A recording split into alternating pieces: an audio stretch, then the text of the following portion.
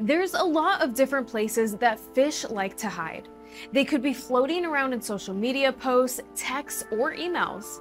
But for the most part, they all want you to take the bait and click on their malicious link or attachment, which in turn can install malware on your device.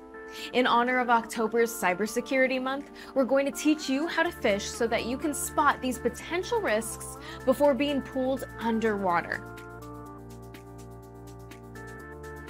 The first thing you need to do in order to catch a fish is to know what you're looking for.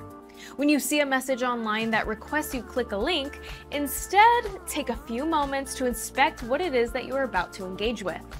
Is the message offering something that is too good to be true? Does it use urgent or alarming language? Is it very generic? In our hectic world, we tend to read and react rather quickly when it comes to our inbox, and cyber criminals know this. Their messages are often crafted in a way to get you to move first and regret later. To combat this tactic, our best line of defense is to take the time to inspect what we are working with before taking action.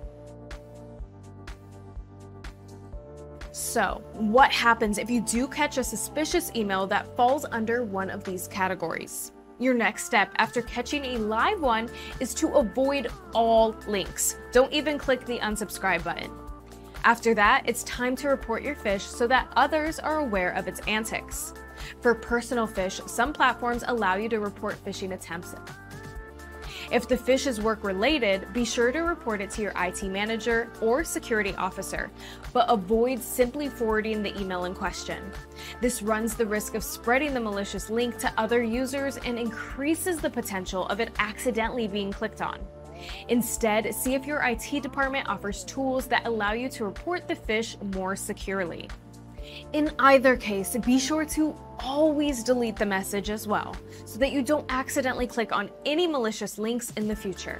And that's it. By spotting, reporting, and disposing of any fish that come your way, you'll get along just